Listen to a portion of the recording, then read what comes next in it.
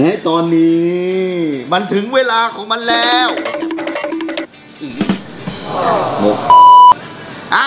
ถึงเวลาของมันแล้ว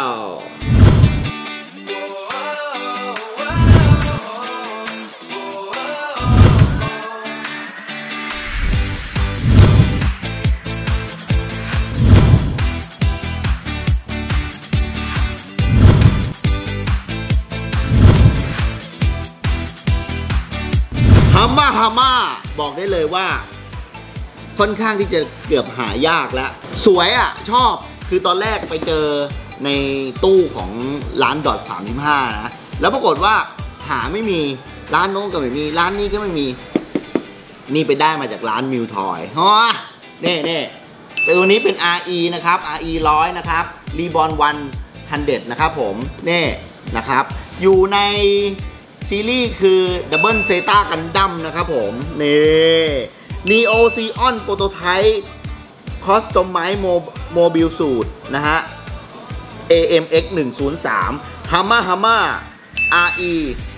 100นี่เฮ้ย เฮ้ย สวยนะเว้ย เฮ้ย สวยนะ สวยนะ บอกได้เลยนี่ ถ้าดูจากข้างกล่องเนี่ย เห็นไหมโล่ของมันมีปืนด้วยนะเว้ย นะ แจ๋วปลาแจ๋วปลา ไอพงไอพ่นเต็มตัวนะแกะดีกว่า แกะดีกว่า ตัวนี้นะนำเหนือเลยปั๊บเขาให้ นี่หนึ่งถุงสองถุงสามถุงสี่ถุงห้าถุงหกเจ็ดแปดเก้าเนี่ยก็เท่ดีเหมือนกันนะฮัมมาฮัมมาฮัมมาฮัมมาไม่ใช่มาม่ามาม่าฮัมมาฮัมมาไม่ใช่มาม่ามาม่าไอ้สัส เป็นไง เดี๋ยวจะแรปเปอร์รีวิวแม่งเลยต่อไปนี้ ข้างหลังมันเป็นแบบนี้นะ แกะข้างในมันก็จะเป็นชีสต่างๆนะครับ วิธีการประกอบเหมือนเดิมเช่นเคยนะฮะวิธีการแปะสติกเกอร์ น่าจะเป็นสติกเกอร์อยู่แล้วนะครับ เป็นตัว Reborn 100 โอ้โหนี่คือแผงตัวมันออกเป็นเขียวๆอย่างนี้นะครับ เป็นเขียวอ่อนนะครับ อันนี้เป็นกล่องมันหนึ่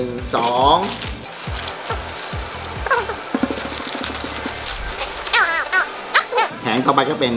ชิ้นส่วน part ด้านในนะครับสามสี่แล้วก็มีสาย อันนี้เป็นโล่นะสีแดง แล้วก็เป็น เฮ้ยเฮ้ยมีตา มีตาโคตรเท่อะนะสี่ห้าหกยังมีสติ๊กเกอร์ด้วยอย่าลืมเจ็ดแปด เก้าสิบนะครับเป็นเขียวเข้มกับเขียวอ่อนสติ๊กเกอร์อันนี้อีกสิบเอ็ดสิบสอง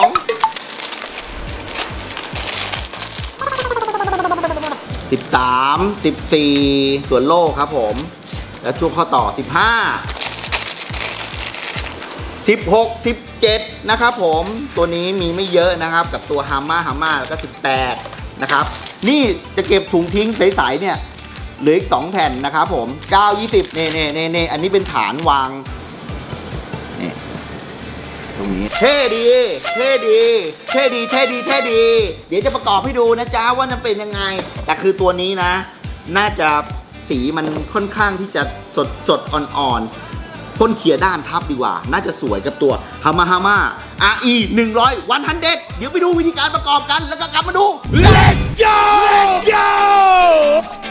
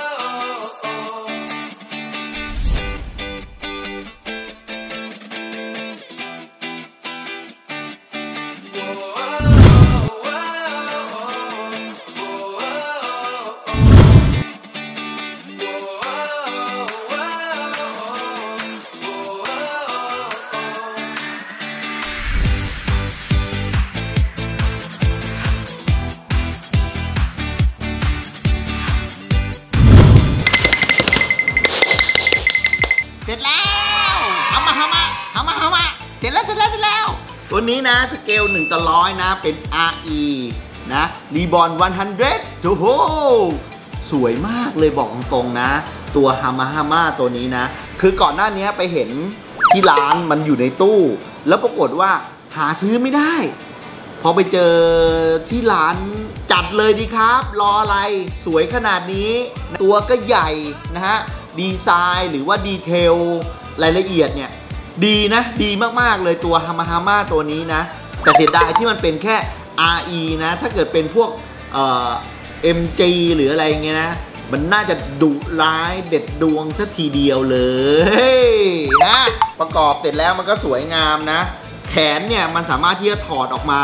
และยืดออกมาได้เป็นแบบนี้เลยนะอะเห็นไหมเห็นไหมเห็นไหมเนี่ยเนี่ยอย่างนี้ก็ได้เนี่ยเนี่ยดีเทลของมันเท่นะ ดูแขนดิแขนมันก็จะมีแบบไอพ่นรอบตัวเลยนะ เพราะว่าน้ำหนักตัวของมันเนี่ย ตัวจริงของมันน่าจะเยอะนะฮะ แล้วก็ไอพ่นเนี่ยมีที่แขนที่เอวที่หลังนะ เยอะ มันดีไซน์มันค่อนข้างเท่มือมันเป็นสามกีบนะ สามารถยืดออกได้นะ มันก็มีไอเนี่ยเส้นที่เอาไว้เด o อเรทคือเอาไว้ตั้งได้แล้วก็มีเสามาให้ 4 เสานะ เป็นแขนสอนแขนยื่นออกมา มี beam saber มาให้ 2 อัน ตัวของมันเนี่ยโคตรเท่เลยมือมันก็เป็นปืนนะ แล้วโล่ของมันเนี่ยนะ มันมีโลโก้แบบโคตรเท่เลยแล้วก็เป็นปืนในตัวนะ สวยอะดีไซน์ตัวนี้นะดีไซเนอร์ไม่รู้คิดยังไง ผมบอกได้เลยว่ามันเท่จริงๆนะฮะดีสติกเกอร์ก็เป็นสติกเกอร์ธรรมดานะครับ ไม่ได้เป็นแบบสติกเกอร์ขูดหรือว่าเป็น decal น้ำเพราะว่ามันเป็นแค่เอ่อ RE นะครับผมเท่เหลือเกินบอกได้เลยว่าเท่มากๆ สุดยอดต้องมีอีกแล้วตัวนี้ โอเค เรามาดู technical ของมันดีกว่าว่าตัว Hamma-Hamma เนี่ยมันมีคุณลักษณะยังไงนะครับ ถูกสร้างมาเมื่อไหร่นะครับผมตัวนี้นะครับชื่อโปรโตไทป์ควอสิไซโคคอมมูแอ s ซอลโมบิลสูตรนะครับผมModel Number ของมันคือ AMX 103 Official Name ของมันก็คือ Hamma-Hamma ความสูงของมันอยู่ที่ 21.5 เมตร ความสูงโดยรวมทั้งหมดอยู่ที่ 24.03 เมตรนะครับ น้ำหนักอยู่ที่ 40.3 ตัน full weight น้ำหนักเต็มที่ของมันอยู่ที่ 79.4 ตันเลยทีเดียว พลังงานที่ใช้นะครับ เป็น m i n o s k i Ultra Compact Fusion Lector การกินไฟของมันอยู่ที่ 3,820 กิโลวัตต์ วัสดุชุดเกราะของมันเป็นกาลาเดียมอลลอย ตัวนี้ก็ใช้นักบินในการควบคุมนะครับ อยู่ในคอกพิษโรงงานที่ผลิตนะครับคือ Neo Zeon นะครับผม ผลิตครั้งแรกในปี 0088 UC นะครับ อุปกรณ์ของมันก็คือ Beam Saber 2อัน แล้วก็บีมกัน มีเชดนะครับ มีโล่ดีไซเนอร์การออกแบบตัวนี้คือยูทากะอิซูมูชิครับผมบอกได้เลยว่าสวยงามมากๆนะฮะ คือตัวของมันเนี่ยดีไซน์เป็นสีเขียวแล้วก็มีสีเขียวเข้ม สีเขียวอ่อน ตัดด้วยสีแดงนะฮะ แล้วก็มีสีเหลืองนะฮะ ความเท่ของมันอะจุดเด่นของอยู่ที่ไหล่นะฮะ ซึ่งมีไอพ่นนะฮะ แล้วก็รอบตัวของมัน นะฮะและจุดเด่นของมันอีกอันหนึงก็คือที่หัวนะฮะมีเสาอากาศค่อนข้างใหญ่นะครับ จุดเด่นที่สำคัญที่สุดเลยก็คือว่าโล่โล่ของมันเนี่ยเป็นโล่แล้วมีปืนถึง 3 อันเลยทีเดียวนะครับผมมาต่อไปเรามาดูถึงจุดขยับของมันดีกว่า จับแยกมาครับผมนี่จุดขยับของมันนะครับ เรามาที่ขาก่อนเลยนะฮะที่เท้านี่เรามาดูที่เท้า เท้าขยับได้ครับ แล้วตรงคีบด้านหน้าเนี่ยสามารถที่ขยับได้แบบนี้ได้นะครับ ตรงนี้นะครับผมในส่วนของขาพับได้ไม่เยอะนะครับ นี่นะฮะพับได้แค่นี้ชุดกระโปรงกับชุดไอพ่นนะครับ รอบทิศทางเลย ขยับได้หมดนะครับ ผมแขนนะครับ แขนขยับได้ครับ หมุนได้นะครับ ได้หมดเลยนี่ฮะขยับได้งอนะครับ คือส่วนงอเนี่ยมันงอนิดเดียวถ้าเกิดเราหมุนนะครับ มันก็ขยับงอได้ขนาดนี้เลยนะครับ ราะว่าตัวแขนเนี่ยมันค่อนข้างอิสระไหล่ครับผมขยับได้ครับ ส่วนคอก้มได้ครับ หมุนได้นะฮะโล่นะครับ ขยับองศาไม่ได้แต่หมุนรอบได้นะครับ ผมขาขยับได้อย่างนี้นะครับนะฮะแต่นี่นะฮะประมาณนี้นะครับผมก็ค่อนข้างที่จะตั้งท่า ก็ได้หลายท่าเหมือนกันนะครับ กับตัวฮามาฮาม่าตัวนี้นะฮะ เรามาให้ดาวของมันดีกว่ากับตัว RE ตัวนี้นะครับ ราคาอยู่ที่ประมาณพันกว่าบาทนะฮะพันพิเศษไม่เกินพันห้านะฮะ ถ้าเกิดตัว RE ตัวนี้นะครับ เปรียบเทียบกับราคาความสวยงามความแปลกของมันนะ ผมให้ฮามาฮาม่าตัวนี้นะครับสำหรับ RE ความใหญ่ของมันเนี่ยอยู่ที่ 4.7 ดาวเลยครับผม ถามว่าทำไม ให้ถึงคะแนนเยอะขนาดนี้ บอกได้เลยว่าตัวของมันเนี่ยใหญ่ 2 สูง ดีไซน์สวย สีสันสวยนะฮะรายละเอียดดีนะฮะล่องเรื่องอะไรเงี้ยมีมาให้ค่อนข้างเยอะในการตัดเส้นนะฮะรายละเอียดดี ติดที่มันไม่มีเป็นพวกมัสเตส์เกตหรืออะไรก็แล้วแต่นะฮะแต่คือถ้าเกิดสมมติว่าไซส์ขนาดนี้ราคาขนาดนี้ความสวยขนาดนี้ 4.7 ดาวไปเลยเฟี้ยวผมบอกเลยคุ้มดีมาก มันต้องมีอีกแล้วครับผม ถ้าใครจะติดสติกเกอร์แล้วไปพ่น clear ทับนะ ผมบอกได้เลย clear ด้านหรือกึ่งเงากึ่งด้าน โคตรสวยไปอยู่ในตู้โคตรสวยเพราะว่าสี detail มาดีมาเต็มถ้าไม่มี Action Base ไม่เป็นไรเพราะราคามันแค่นี้ผมบอกผมยอมรับได้4.7ดาวคุ้มมาก จบนะฮะถ้าเกิดใครชอบ เอาไปกันดีกว่า วันนี้พอแค่นี้นะครับ กับตัว Hamma-Hamma บอกได้เลยคุ้มนะฮะ ถ้าใครหาได้ก็ซื้อเก็บไว้ได้ก็ดีนะครับผม โอเคไปดีกว่า อย่าลืมนะครับ เพื่อเป็นกำลังใจในการประกอบตัวตัวต่อไป ก็กด subscribe ไลค์แชร์ให้เราด้วยนะครับ เพื่อเป็นกำลังใจ ใครอยากรู้ตัวไหน หรืออยากให้เราแกะตัวไหนหรือรีวิวตัวไหน บอกได้เลย คอมเมนต์มาได้เลยนะครับผมและเราจะไปหามาให้โอเค วันนี้ไปก่อนครับ ขอตัวก่อนอย่าลืม กด subscribe ไลค์แชร์ให้ด้วยนะจ๊ะไปก่อนครับผมบ๊ายบายสวัสดีครับ